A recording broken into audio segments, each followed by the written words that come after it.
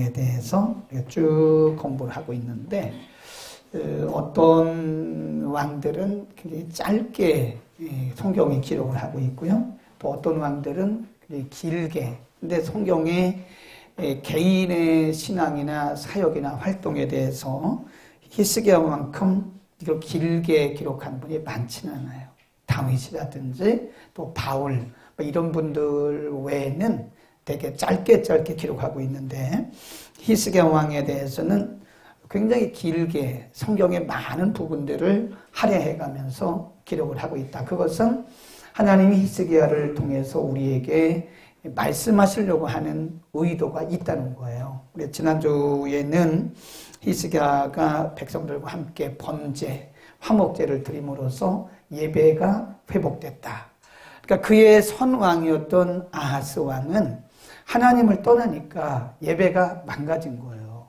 우리가 보면 이건 개인도 마찬가지, 교회도 마찬가지, 가정도 마찬가지, 어떤 나라도 마찬가지인데 이 사람들의 마음 속에서 하나님이 떠나면 제일 먼저 망가지는 것이 예배입니다. 예배. 그러니까 오늘날도 우리가 이렇게 보면 예배 생활이 제대로 안 되는 것은 이미 그의 신앙이 망가져 가고 있다고 하는 거예요. 그 신앙생활이 망가지면 제일 먼저 오는 것 중에 하나가 예배 생활이 제대로 안 된다. 그래서 어, 번제 화목제를 드림으로써 하나님과의 관계가 회복되어지고 이제 오늘 어, 세 번째 시간에는 1절 보세요. 뭘 했는가? 30장 1절에 보면 30장 1절 그리고 5절로 갑니다. 30장 1절 시작 히스기야가 온 이스라엘과 유다에 보내고 또 에브라임과 문하세에 편지를 보내요. 예루살렘 여호와의 전에 와서 이스라엘의 하나님 여호와를 위하여 뭘 해? 유월절을 지켜라 라고 왕이 명령을 내렸어요. 그 다음에 5절도 보면 그렇습니다. 5절 시작 드디어 명을 받아요 부엘세바에서부터 단까지 온 이스라엘에 반포하여 일제히 예루살렘으로 와서 이스라엘 하나님 여호와의 유월절을 지키라 하니 이는 기록한 규례대로 오랫동안 지키지 못하였다. 그러니까 어, 이 히스기야의 선왕이었던 아하스뿐만 아니라 이전에 있던 왕들이 그 중심이 하나님을 떠났기 때문에 유월절을 지키지 않았다는 거예요. 유월절이 아주 기억 속에서 사라져 버렸어요. 그래서 지금 히스기야가 시작한 것이 유월절을 지키는 운동을 하고 있는데 오늘 본문에 보면 유월절을 지키기 위한 준비, 크게 보면 준비, 그 다음에 경과, 그리고 결과 이렇게 세 가지로 나눠서 보는데 준비하는 과정을 한번 보세요. 2절입니다. 2절 첫 번째 준비 과정 어떻게 준비했는가? 2절 시작 왕이 백성들과 예루살렘 온 회중으로 더불어 옳지. 고다 줄거놓으세요. 의논하고 그랬어요. 첫 번째 과정이 의논하고 그 다음에 3절 이는 성결케 한 제사장이 부족하고 백성도 예루살렘에 모이지 못한 거로 그 정한 때에 지킬 수 없었습니다. 그러니까 결과로 4절에 보면 왕과 온 회중이 이 일을 선히 여겼다 그랬어요. 6월절을 온 백성들이 다 지키기를 계획했던 히스기야가 어, 이제 그 의도가 좋았지만 그 6월절을 지키기를 원하는 그런 계획을 그냥 그냥 일사불란하게 물어 그냥 밀고 나간 것이 아니라 사람들을 그 중간 어, 지도자들을 다 모아서 의논을 해요. 그랬더니 백성들이 그것을 선히 여겼다 그랬습니다. 어, 이거를 우리가 하나님이 주신 지혜라 그럽니다. 그럼 우리가 주님의 일을 할 때는요, 마태복음 10장에 보면 예수님께서 제자들을 파송하시면서 뭐라 그랬어요? 너희가 내가 너희를 보내는 것이 양을 꼭 이리 때 보내는 것과 똑같다. 그러니까 뭐가 필요하다고 그래요? 지혜가 필요하다. 뭐처럼 순결하다고 그래요? 비둘기처럼. 뭐처럼 어, 지혜로우라고 그래요? 뱀처럼. 뱀은 순발력이 있거든요. 그 뱀의 지혜를 배워라. 그런 거예요. 그 지금 히스기야가 이 거대한 거국적인 6월절 회복 운동을 하면서 히스기야가 백성들에게 중간 지도층을 불러서 이렇게 의논했다고 하는 것은 그 하나님이 주신 지혜입니다. 우리가 주님의 일을 할 때는요 두 가지 다 필요합니다. 어떤 어떤 경우에는 의논해서는 안 될 경우가 있습니다. 네. 모든 일들을 다 의논하면 안 된다니까요. 모든 일들을 다 의논하면 어, 제가 모든 주의 일이 다 의논해야 되는 건 아닙니다. 우리가 느헤미야서에 보면요, 느헤미야가 아, 예루살렘에 올라왔어요. 예루살렘에 와서 바벨론에서 예루살렘에 와가지고 그 무너진 성벽을 재건해야 되는데 어디가 어떻게 무너진지 알 수가 없는 거예요. 70년 만에 다시 왔기 때문에 그래서 밤에 몰래 말을 타고 가요. 말을 타고 가가지고 아무한테도 얘기를 안 해요. 아무한테도 얘기를 안 해요. 그리고 가서 말 타고 가서 예루살렘 한 바퀴 휙 돌아와요. 그리고 와서 그 일을 진행했던 거예요. 그러니까 이런 경우에는 의논하면 안 됩니다. 이해하시겠죠? 모든 일을 다 의논하면 어떤 때는 사단이 틈탈 때가 많아요. 그래서 중요한 일을 못한 경우도 많습니다. 그러나 또 대부분의 경우는 의논하는 게 맞아요. 오늘 본문에 보면 의논했다. 그 중요한 일을 할 때는 의논했다. 그거 분명히 그렇죠? 2절에 보면 이 방백들과 예루살렘 온 회중으로 더불어 뭐라 했다고 그래요? 의논 방백이란 말은 중간 지도층을 얘기하는 거예요. 중간 지도층과 의논했다. 이런 경우는 이게 보편적인 일들에 대해서는 어떤 경우는 의논을 해야 돼요. 그 지혜가 필요합니다. 하나님의 일은 이게 사단이 항상 개입을 하기 때문에 이 일을 딱 분별을 해야 돼요. 이것을 의논해야 하는가? 이것은 의논해서는 안 되는가? 이거를 순발력 있게 분별을 해서 의논해야 할 일은 우리가 다 오픈하고 의논을 해야 돼요. 그래서 이 힘을 다 모으고 생각들을 모아서 지혜롭게 해야 되고 또 어떤 경우에는 아 이거는 의논하면 안 되겠구나. 이런 경우에는 그냥 성령의 감동을 받고 그냥 가는 겁니다. 아멘. 우리가 이해를 잘 하시기를 바랍니다. 그 옛날에 옛날에 어떤 분이 저에게 아주 굉장히 참 힘들게 했던 분이 한 분 계시는데 이분이 힘들게 했던 이유 중에 하나가 목사님이 단독으로 독단으로 한다고 얘기를 하는 거예요. 모든 것이 목사님이 자기들하고 의논 안 하고 한다고 생각을 하기 때문에. 근데 이분이 굉장히 저를 아주 힘들게 했던 적이 있었어요. 왜 목사님이 의논 안 하고, 왜 재직기 때 의논 안 하고 목사님 독단적으로 하느냐. 그래서 제가 한번 얘기를 했어요. 집사님. 어떤 것은 의논해야 되고요. 어떤 것은 목사님이 성령의 감동을 받고 그냥 하는 것도 있습니다. 어떻게 매번 재직회를 모아서 의논하고 그러면 재직해서 하지 말 말자 그러면 그 중요한 일을 못하는 거네요. 그랬더니 그렇기는 하네요. 그러더라고. 어, 그러니까 우리가 주의 일을 할 때는요, 어떤 경우에는 순발력이 있어야 돼요. 그래서 어떤 경우에는 느헤미야처럼 아무한테 얘기하면 안 돼요. 제가 경험한 바로는요, 아주 중대한 일을 할 때는요, 우리 집사람한테 얘기를 안 합니다. 안 해요. 그 일이 드러나고 그 일이 잘 진행될 때까지는 얘기를 안 해요. 그리고 어느 정도 이렇게 진앙이 될 때 그때 얘기를 해요. 그렇지 않으면 반드시 마귀가 틈을 탑니다. 이 중요한 일에는요, 마귀가 꼭 틈을 타서 아주 일을 그르친 경우가 많아요. 그래서 이게 영적 리더들에게는 분별이 필요합니다. 아멘. 아멘. 그래서, 그래서 이 뱀같이 지혜로우라는 거예요. 이런 경우는 히스기야 왕이 지혜롭게 잘한 거예요.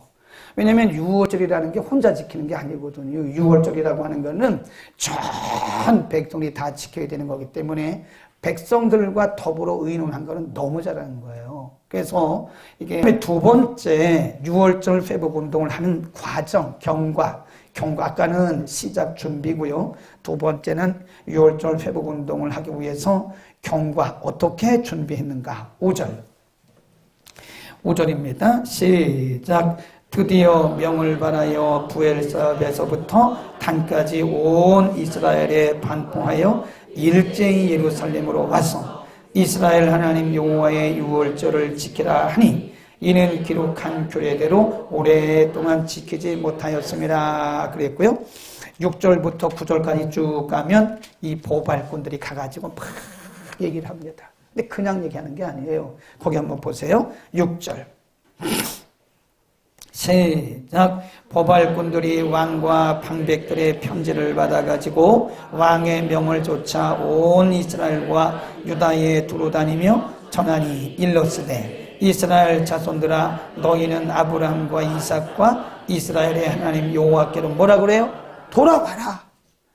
지금 이 보발꾼들이 왕의 명령을 받고 가서 하는 얘기가 너희는 하나님께 돌이키라. 하나님께로 돌아와라. 그런 거예요. 그리하면 저가 너희 남은 자에게로 돌아올 것이다. 7절 시작 너희 열조와 너희 형제같이 하지 마라. 너희가 그 열조의 하나님 여호와께 범죄한 고로 여호와께서 멸망에 붙이신 것을 너희가 목도한 그런즉 너희 열조같이 목을 곱게 하지 마라. 그러면서 구절도 보면 너희가 돌이키면 우리가 돌이키면 하나님은 은혜로우셔서 자비로우셔서 우리 얼굴을 우리에게 돌이킬 것이다. 그러니까 지금 보발꾼들이 가서 여러분 오세요 그렇게 말한 것이 아니라 영적인 가르침을 영적인 메시지를 전하는 거예요. 여러분 돌아오십시오. 우리 하나님께로 돌아갑시다. 그러면 하나님께서 우리에게 돌아오실 것이라고 그렇게 말하는 거예요. 그래서 여기 보면 영적인 그러니까 그 6월절 회복 운동이라는 게 단순히 절기 지키는 게 아니에요. 영적 회복, 영적.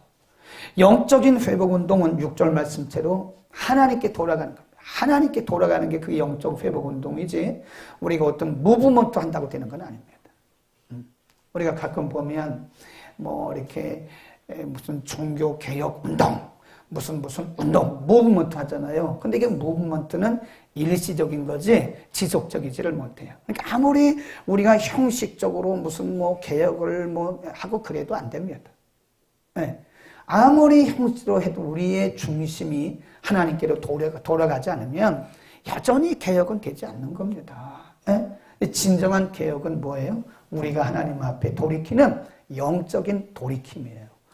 하나님 앞에 우리의 중심이 돌아가지 않으면 우리가 조직과 아무리 다른 뭐, 뭐, 뭐를 다 바꿔도 여전히 거기 있는 거예요. 그러니까 우리가 1900 몇 년이죠? 1907년 1907 하잖아요. 1907년 이 평양에서 일어났던 그 영적 부흥 운동, 어, 캘리포니아의 아조사에서 일어났던 영적 부흥 운동, 막 이런 부흥 운동을 보면 무슨 뭐 큰 거대한 캐치프레이즈를 걸고 그게 한 게 아니에요. 그냥 한 사람으로부터 회개가 시작되었던 거예요. 그냥 몇 명이 모여서 회개 운동하다가 이것이 커져서 그 영성 운동이 된 거지. 무슨 뭐 크게 뭘 붙이고 그렇게 한다고 되는 게 아니다. 진정한 회복은 뭐예요? 우리가 하나님 앞에 돌이키는 하나님 앞에 돌아가는 운동을 우리가 하는 거예요. 각자가. 그러면 하나님께서 돌아오신다. 8절에 보면 우리에게 자비와 은혜를 다리 베푸는 하나님이 돌이키는 자에게는 하나님은 언제나 꾸짖지 않으시더라고요. 자기의 잘못을 깨닫고 돌이키면 하나님은 언제나 받아주시고 하나님은 더 큰 은혜를 이전보다 더 큰 은혜를 주시더라 이거예요. 그러니까 우리에게 필요한 것은 뭐예요? 우리가 하나님 앞에 돌아가자. 우리 그 찬양하는 CCM에 보면 돌아가자 그런 찬송이 있죠. 그 황미선 사역자님 그거 어떻게 합니까? 저건 저건가요? 저게 돌아가자 그런 찬송인가 봐요.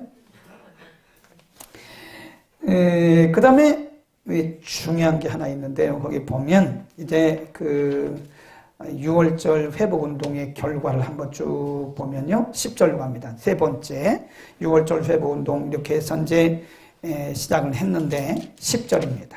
굉장히 중요한 부분이에요. 보발꾼들이 가가지고 사람들에게 다 말합니다. 여러분 돌이, 돌이킵시다. 하나님께 돌이킵시다. 그래야만 하나님 은혜롭고 자비로우셔 돌아오실 것입니다. 막 했잖아요. 그 다음에 결과 이거를 이제 반응이라 그래요. 반응. 그러면 보발꾼들이 가가지고 천국에 가서 메시지를 전했는데 그러면 백성들이 다 아멘하고 돌아왔느냐? 그렇지는 않다 이거예요. 10절. 30장 10절. 시작. 보발꾼이 에브라임과 문하세 지방 각 성에 두 다녀 수골론까지 이뤘으나 사람들이 저희를 뭐 했어요? 조롱하고 비웃더라. 이게 다 이스라엘 사람들이에요. 그러니까 이 히스기야 왕의 명령을 받고 보발꾼들은 오늘날 말하면 전령들이 전령들 가가 가서 왕의 명령을 대신해서 막 전달하는데 얼마나 좋은 일이냐고. 이게 얼마나 선한 일이에요. 하나님 앞에 돌아가고 하나님의 은혜를 회복하는 영성 운동인데 얼마나 좋으냐고. 시작. 얼마나 아, 옆에 저한테 하지 말고 옆에 얼마나 좋은 일이냐고. 시작. 얼마나 좋은 일이에요 그게. 그런데 이 영적인 이 좋은 선한 일에 사람들이 비웃는 거예요. 사람들이 조롱하는 거예요. 누구를? 그 보발꾼들을. 당신들이나 아시오? 어떻게 조롱했는지는 모르겠지만 그 뭐 당신들이나 하라고 말해요. 그러면서 조롱하고 비웃었다 이거예요. 그 다음에 11절, 12절 시작. 옳지. 이런 게 중요한 겁니다. 이런 걸 우리가 접속자라고 그러거든요. 그러니까 성경은 항상 접속자를 잘 보셔야 돼요.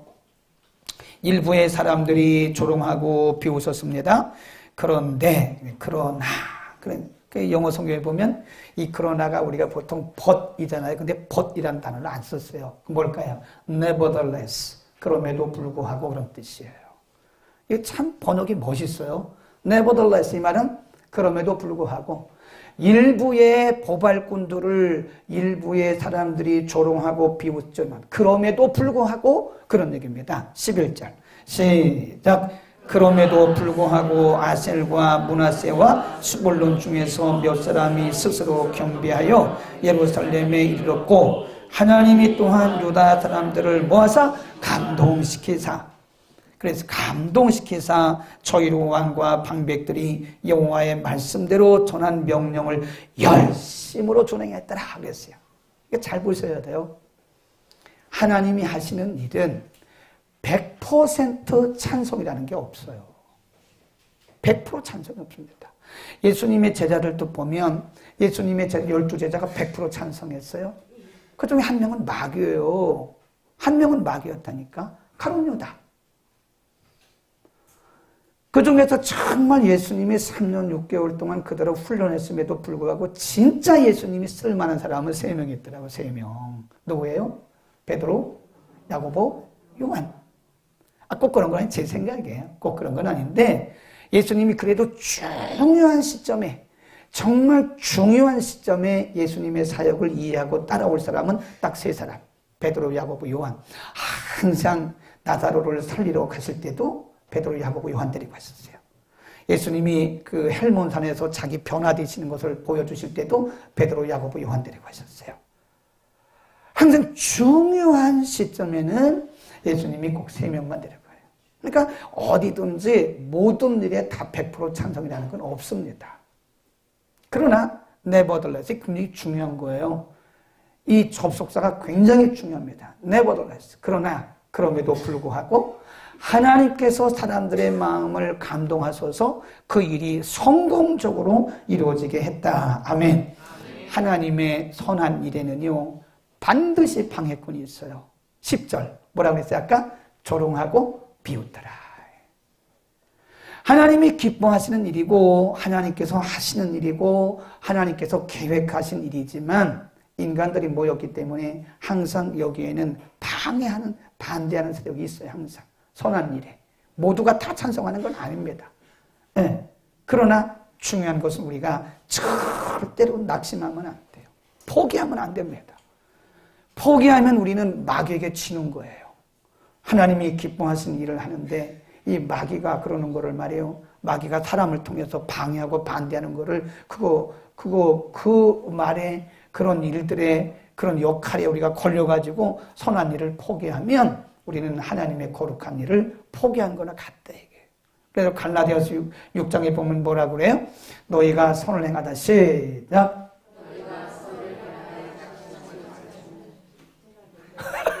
아니 아니 거기밖에 몰라요? 다 외워요. 시작.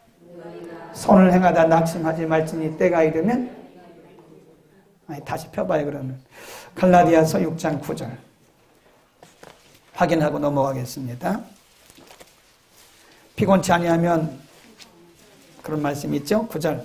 우리가 시작 우리가 선을 행하되 낙심하지 말지니 피곤치 아니하면 때가 이르매 뭐 한다고요? 거둔다. 피곤치 않다. 그 말은 우리가 포기하지 않으면 그 말이에요. 그래서 이 선한 일이라고 하는 거는 이게 아무리 선한 일이라도 오히려 선한 일에 사단의 방해가 있어요. 그러니까 우리가 하나님이 기뻐하시는 일이라고 믿어지고 또 하나님이 나를 부르신 부름이라고 우리가 믿는다면 우리는 이 일에 때로는 조롱하는 사람이 있을 것이고 때로는 비웃는 사람이 있을 거란 말이에요. 그러나 거기에 걸려들지 말고 우리가 피곤하지 아니하면 낙심하지 아니하면 뭐가 이뤄요? 때가 이름에 반드시 하나님의 선한 뜻이 이룰 줄로 믿습니다. 아멘.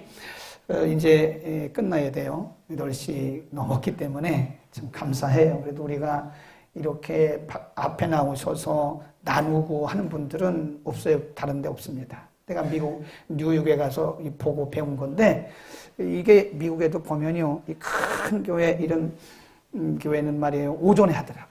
그 우리를 배워가지고 저쪽에 서빙고에 있는 그 교회는 오전에 하더라고. 오전에. 그 저한테 배운 거예요. 그 목사님이 그거. 사실은 아니에요. 자기가 그냥 한 거예요. 네, 우리가 오늘 6월절을 회복하는 운동, 이건 뭘 회복하는 운동이에요? 영성 후보 예배, 예배 회복 운동입니다. 우리가 반드시 예배가 회복되려면 우리가 하나님 앞에 돌아가는 것이 먼저입니다. 우리의 중심이 하나님 앞에 돌이키지 않고 드리는 그 예배는 어떻게 보면 그냥 겉으로 드러난 경건한 예배일 수는 있으나 우리의 중심이 빠진 예배일 수가 있는 것이다. 우리가 하나님이 기뻐하시는 선한 예배자, 그리고 하나님이 기뻐하시는 예배 드리기를 우리가 우리 먼저 하나님 앞에 드릴 수 있기를 축원합니다.